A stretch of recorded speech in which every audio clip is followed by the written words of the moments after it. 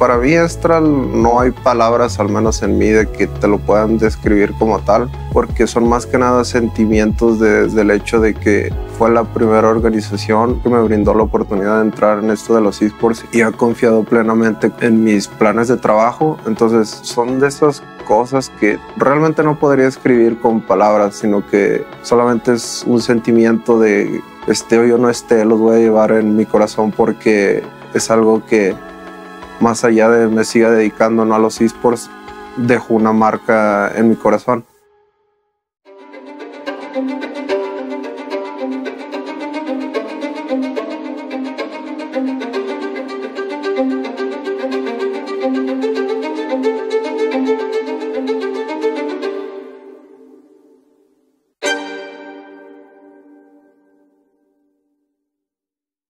Pues es que la verdad no recuerdo otro pasatiempo que no haya sido jugar videojuegos. O sea, literalmente me la pasaba todo el día en eso. De por ahí de la secundaria, o sea, a pesar de que jugaba, tenía, bueno, teníamos, porque éramos un grupo, una banda que tocaba canciones de System of a Down, Metallica, o sea, era una banda de metal. Bueno, o sea, los que son más de mi edad se van a recordar con una etapa de que existían muchos emos. O sea, eran como que los emos y los metaleros. Entonces yo tenía como que, yo era como que del bando de los metaleros, por así decirse, y pues tenía la banda y todo.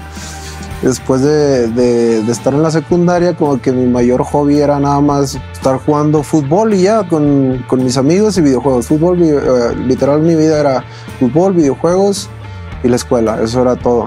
Pero pues, o sea, los videojuegos siempre estuvieron ahí, no, nunca se fueron y ha sido como que mi mayor hobby o sea, el Eduardo competitivo siempre desde pequeño estuvo porque me acuerdo que cuando perdía me enojaba demasiado. O sea, era como de no, ¿por qué perdí? No puedo perder. O sea, en un borde de que mi forma de disfrutar los juegos era ganando.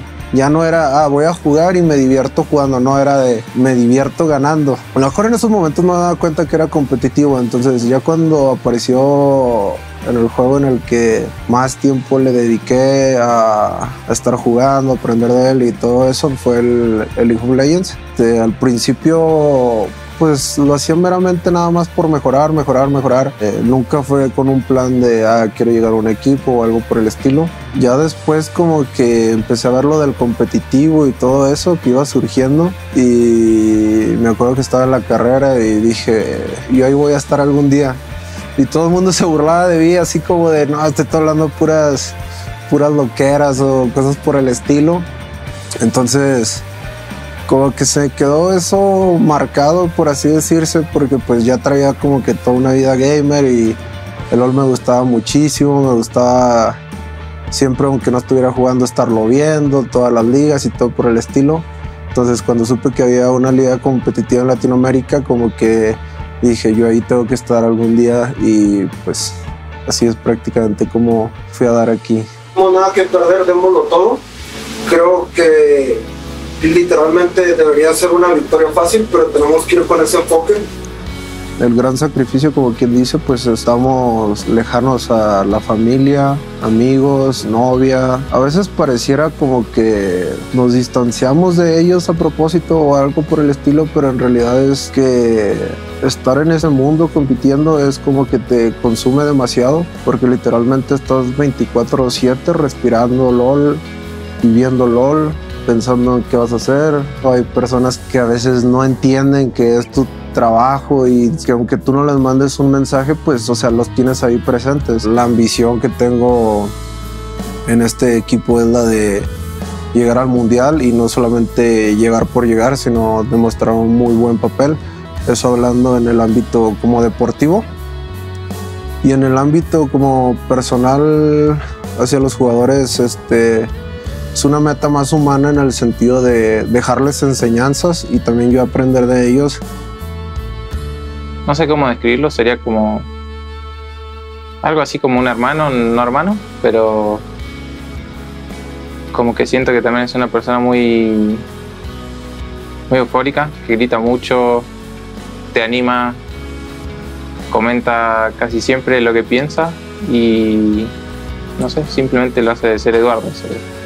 No, o sea, grita mucho. Creo que la persona que más grita en la casa. Si si lo molestas, te va a molestar de nuevo, eso por seguro.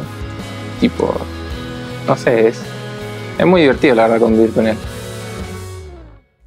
Lo más curioso que me ha pasado es que nunca le dije a mi familia como que el nombre del equipo, o sea, obviamente tengo mercancía del equipo, pero pues me imagino que vieron la, la ropa que decía extra o algo por el estilo y en la final que tuvimos en Argentina la estuvieron viendo, o sea, no entendía nada del juego ni nada y ni siquiera yo les pasé la página ni nada y me sorprendió porque, o sea, mi hermana, mi cuñado fueron así como que se pusieron a buscar ahí extra o no sé qué hayan buscado y les apareció el stream y la final y la estaban viendo mi hermana, mi cuñado y mis dos papás y te digo, sin que yo les hubiera dicho nada. Siento de felicidad de que pues ellos solitos por quererme ver o no sé, o sea, se pusieron a buscar y, y se pusieron a ver la, la final.